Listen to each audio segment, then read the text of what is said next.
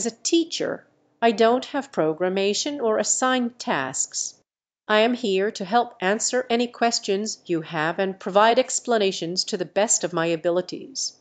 My purpose is to assist you in understanding various subjects and help you learn new things. If you have any specific questions or topics you'd like to discuss, please let me know and I'll be happy to help.